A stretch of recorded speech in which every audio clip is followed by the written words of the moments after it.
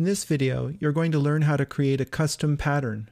I'd like to fill in the floor with a hardwood texture, but none of the patterns in the pattern library seem appropriate. So I'm going to create my own. Let's begin by drawing a rectangle that represents a single plank of wood. Select Shape up here on the Options bar and open the Fill color. Select a wood color, perhaps this particular swatch is about correct. And then drag out a rectangle representing a plank of wood.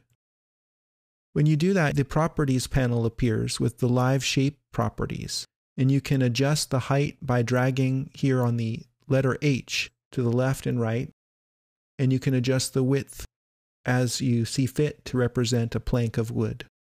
In order to differentiate this plank from adjacent planks, it's necessary to create a border around this rectangle to represent the groove or micro bevel between the pieces of wood in the floor. So to do that, let's click this button and choose stroke. The stroke color I will change by clicking this color swatch, and I'd like to start as a point of reference with this color in the field. So I'm going to click the eyedropper right there and that's sampling the field color.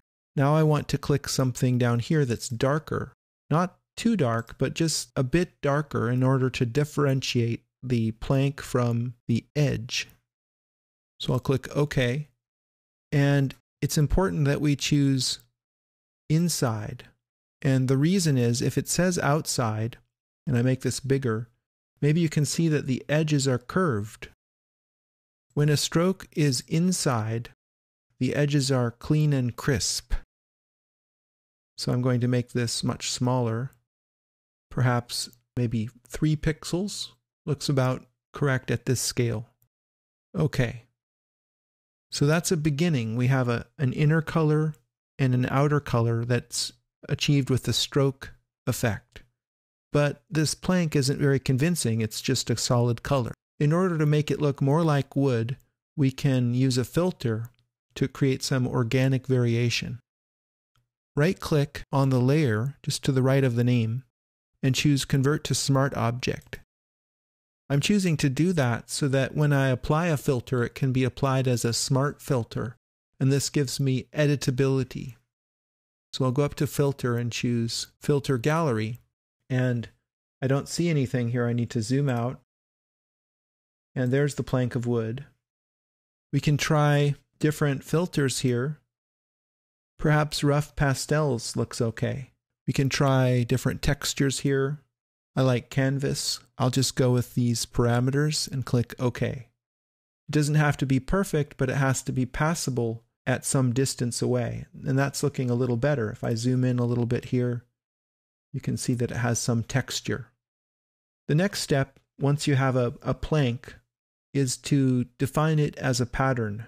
To do that, we need to select the pixels on this layer, and you can do that by right-clicking its thumbnail and choosing Select Pixels. Then go up to the Edit menu and choose Define Pattern.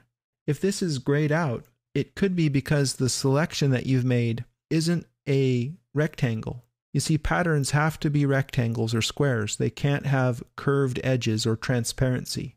And that was one reason for using the stroke on the inside, because it ensures that we have a crisp rectangular selection.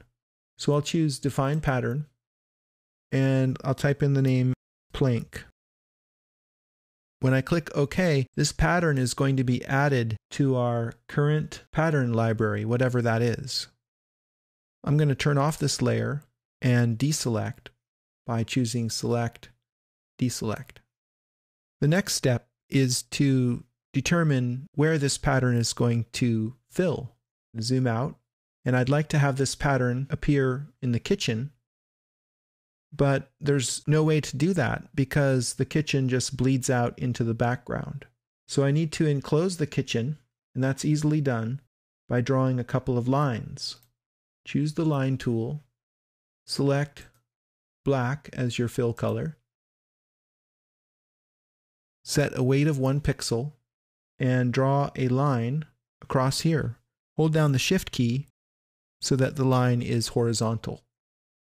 And then choose Combine Shapes from this Path Operations dropdown and draw another line down here holding Shift so that it's vertical. So both of these lines are on this Shape 1 layer, which is just temporary. Now I'm going to create a new layer, and I'll rename that Floor. Then select the Paint Bucket tool and fill in the floor area. Now, it's filling in the shelves in the pantry, which is not correct. So I'm going to undo and then zoom in there and see where the problem is. If you notice right over here, there's a tiny gap. It looks like it's just two pixels, but that's enough for the paint bucket to fail.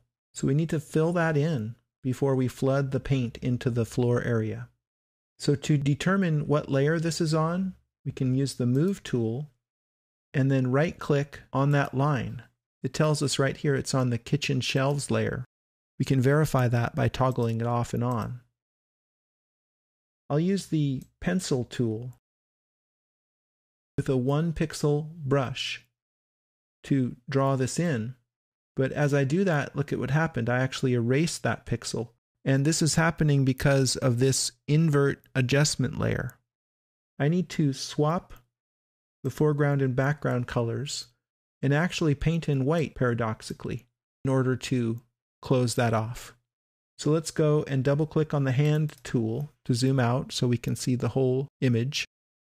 Close this group, target the floor layer, choose the paint bucket tool, and swap the colors so that black is in the foreground, and click in here. This is the area that I want to fill in the floor pattern. So let's go ahead and apply the pattern overlay effect. Open the pattern picker and select the plank. We can drag this pattern and locate it just so. Now this is a good start, but we can improve this in the next video by using a scripted pattern. So I'm just going to stop at this point now and summarize that in this video, you've learned how to generate your own patterns and to assign them with the pattern overlay effect.